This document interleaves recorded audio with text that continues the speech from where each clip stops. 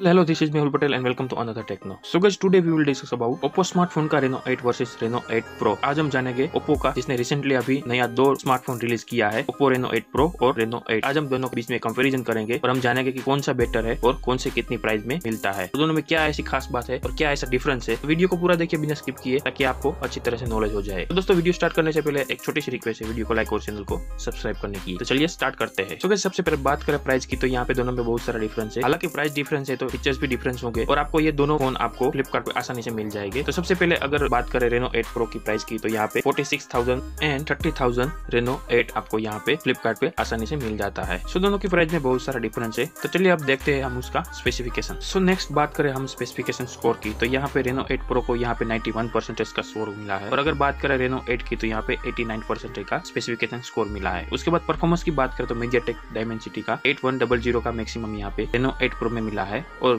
MediaTek Dimensity one three double zero का यहाँ पे रेनो एट को मिला है। और स्टोरेज की बात करें, यानी कि रैम की बात करें तो ट्वेल्व जीबी का रैम रेनो एट प्रो में है और eight GB RAM Reno eight में है। एंड देन बात करें डिस्प्ले की तो यहाँ पे रेनो एट प्रो की display six point seven inch का है और रेनो एट की बात करें तो सिक्स पॉइंट फोर इंच का डिस्प्ले है। एंड अगर रिजोल्यूशन की बात करें तो रेनो एट प्रो की रिजोल्यूशन है ten eighty cross twenty four twelve picture और अगर पीपीआई की बात करें तो थ्री नाइटी फोर पीपीआई यहाँ रेनो एट प्रो में मिल जाता है। और उसके बाद अगर रेनो एट में देखे तो यहाँ पे ten eighty cross twenty four hundred picture का यहाँ पे रिजोल्यूशन है और फोर डबल वन का यहाँ पे उसका पीपीआई है। एंड देन अगर बात करें रेयर कैमरा की तो दोनों में same rear camera triple camera 50 megapixel plus 8 megapixel पर 2 मेगापिक्सल मिल जाता है। इसके बाद अगर फ्रंट कैमरा की बात करें तो वो भी दोनों में सेम है सिंगल कैमरा 32 मेगापिक्सल का यहाँ पे दोनों में प्रोवाइडेड है। एंड देन नेक्स्ट बात करें बैटरी की तो यहाँ पे दोनों में सेम बैटरी 45 के मेगा की यहाँ पे बैटरी है। और स्टोरेज की बात करें तो टू फिफ्टी सिक्स जीबी का यहाँ पे रेनो एट प्रो में है और वन ट्वेंटी एट जीबी का रेनो एट में है। दोनों में मेमोरी कार्ड अलाउ नहीं है एक्सटर्नल एंड लास्ट में अगर बात करें एक्सपर्ट रिव्यू रेटिंग की तो यहाँ पे रेनो एट प्रो को मिला है five out of three point five का रेटिंग मिला है। और वही सामने देखा रेनो एट की तो यहाँ पे उसको कोई रेटिंग नहीं मिला है, यानी कि उसको रिव्यू भी नहीं किया हुआ है। सो यहाँ पे वीडियो खत्म हो रही है, और आप मुझे बताइए आपको वीडियो कैसा लगा। अगर आपको वीडियो अच्छा लगा हो तो लाइक करें शेयर करें सब्सक्राइब करिए, और आप मुझे बताइए आपको कौन सा फीचर अच्छा लगा। और अगर आप लेना चाहो तो दोनों में से कौन सा लेना चाहोगे, और क्यों लेना चाहोगे। तो दोस्तों, यहाँ पे मैं वीडियो को खत्म कर रहा हूँ। मिलते हैं हमारे अनदर टेक्नो में।